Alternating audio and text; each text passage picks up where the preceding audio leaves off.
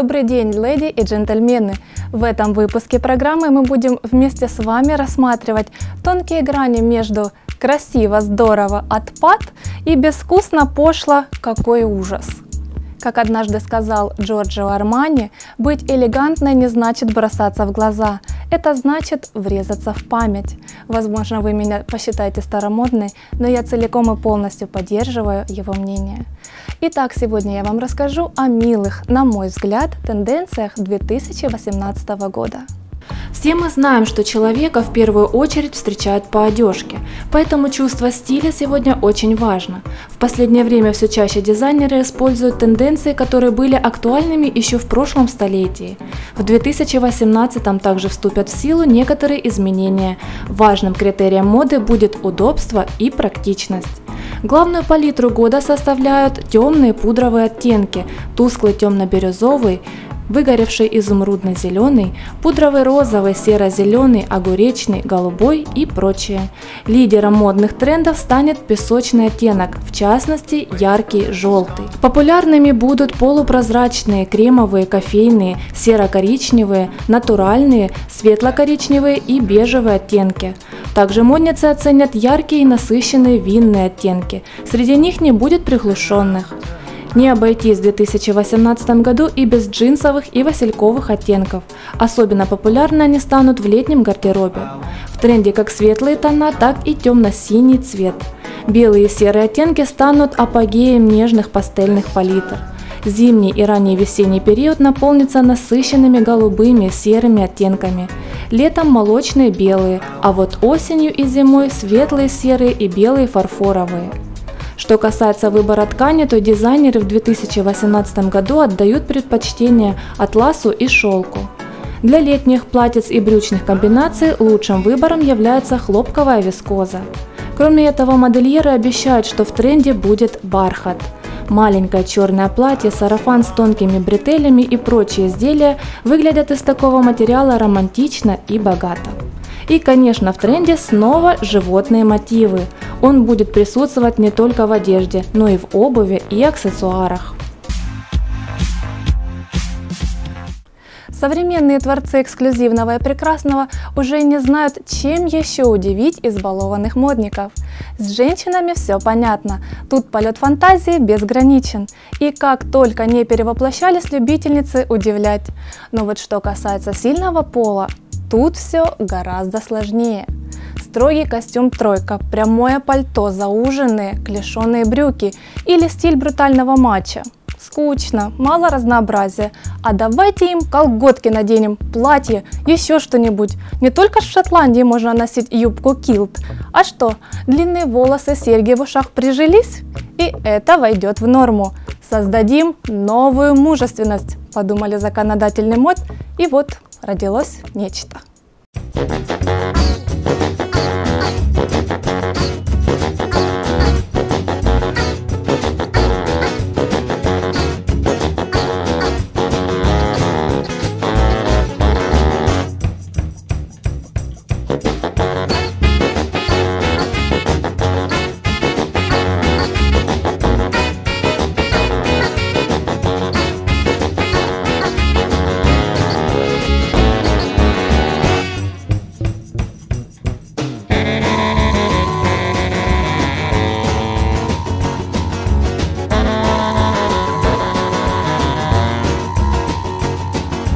bum, bum.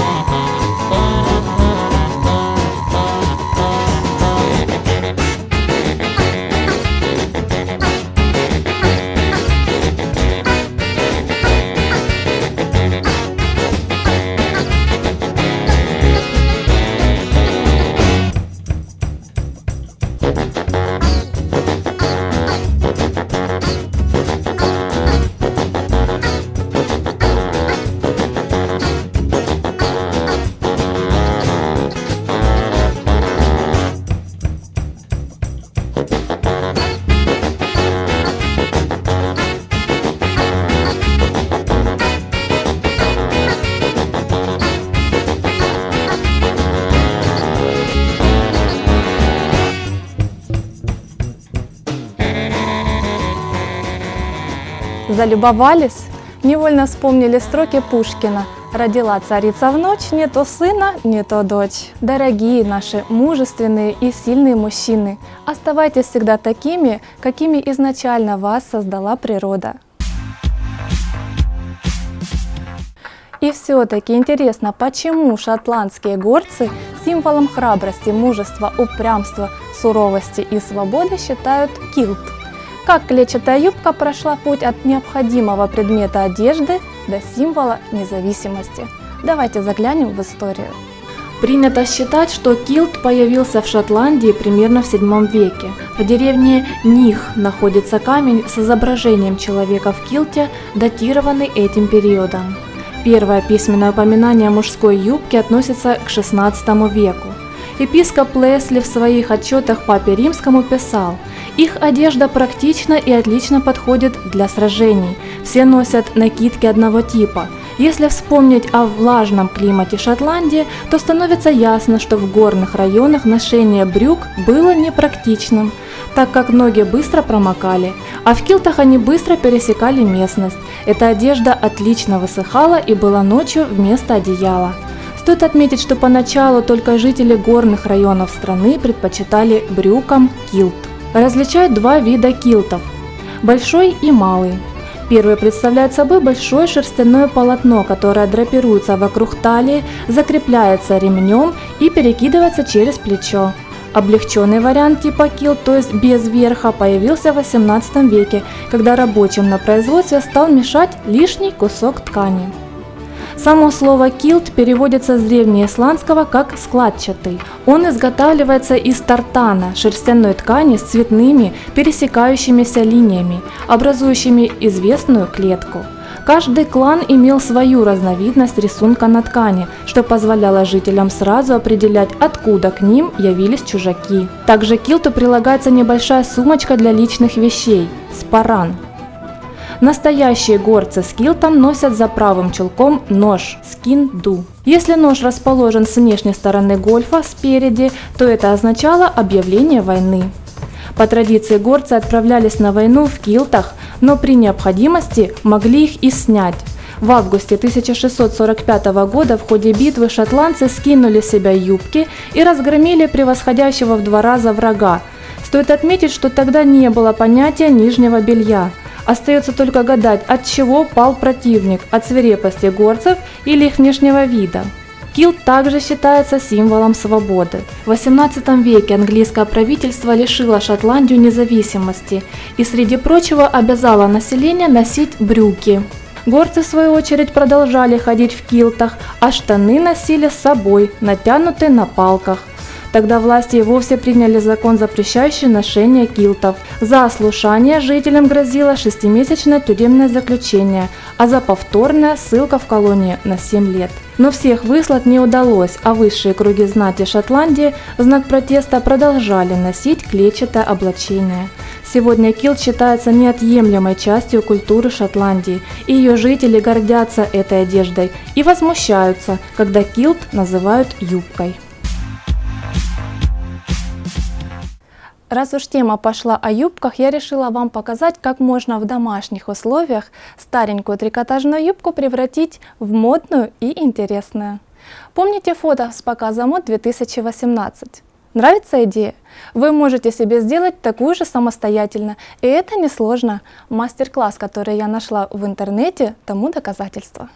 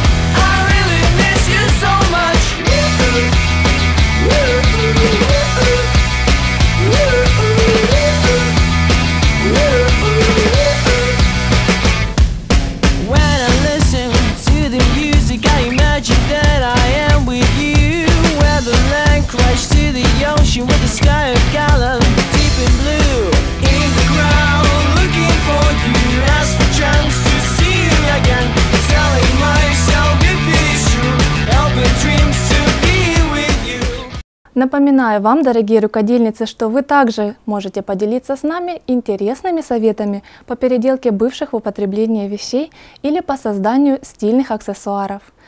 Ваши идеи мы обязательно покажем в программе «Формула стиля». Для этого отправляйте фото или видео на адрес нашей электронной почты, который вы видите на экране, с пометкой «Формула стиля». Наталья Набока прислала нам видео мастер-класс из города Азов Ростовской области, в котором поделилась навыками плетения оригинальных украшений из бусин и бисера. Давайте посмотрим. Всем привет! Специально для передачи «Формула стиля» я решила снять очень легкий мастер-класс по изготовлению ажурного колье из жемчужных бусин. Этот мастер-класс покажет, что быть оригинальной очень просто. На создание вот такого колье у меня ушло чуть больше часа. Также хочу добавить, что размеры бусин и цвета можно подбирать на свое усмотрение. Например, сочетание белых бусин с черными будет не менее красиво. Итак, приступим. Для того, чтобы сплести колье, нам понадобится бусины жемчужные размером 2 мм, 4 мм, 6 мм, ножницы, леска, цепочка, 2 колечка и застежка. Берем леску приблизительно 2 метра. Закрепляем бусину 2 мм так, как показано у меня на рисунке. И оставляем с левой стороны небольшой хвостик. После того, как мы закрепили первую бусину, мы надеваем бусины в следующем порядке. Через каждые бусины по 2 мм, их у нас будет по 3 штуки, мы чередуем бусины таких размеров 4 мм, 6 мм, 4 мм и 6 мм, так как показано у меня на рисунке. В итоге у нас должно получиться 19 бусин. После этого одеваем 3 бусины по 2 мм, одну бусину 4 мм, снова 3 бусины по 2 мм и продеваем через бусину 6 мм, так чтобы образовалась петелька. Затягиваем и продолжаем плести. Надевая бусины по нашей схеме, чередуя. Через каждые 3 бусины 2 мм мы одеваем бусину 4 мм, затем 3 бусины по 2 мм, одну бусину 6 мм, 3 бусины 2 мм и продеваем через верхнюю бусину 4 мм, образуя петелечку. Так продолжаем плести несколько рядов. Мое колье готово. У меня получилось 21 петелька. После окончания работы с обоих концов я одела по колечку. Леску хорошенечко закрепила, концы опалила. Надела цепочку и застежку. Надеюсь, мой мастер-класс был очень легкий и доступный. Желаю всем удачи, будьте оригинальны!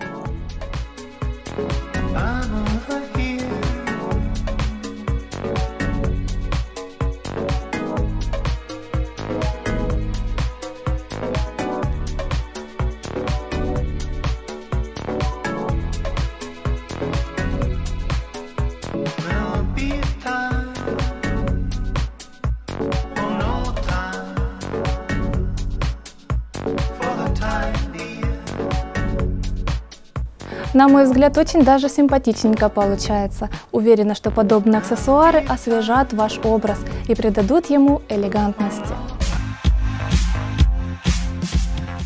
Дорогие представительницы слабого пола, помните, женщина свободна и поэтому непозволительно предписывать ей, что носить. Одежда должна быть подчинена ее личности, а не наоборот. Так считал знаменитый французский модельер Ивсеф Лоран, и с этим его утверждением не поспоришь. Остается только развивать свой вкус, учиться и оставаться стильной при любых жизненных обстоятельствах. Смотрите нашу программу, и вы всегда сможете почерпнуть для себя что-то полезное. Новый выпуск «Формулы стиля» будет выходить каждое третье воскресенье месяца. До новых встреч, друзья!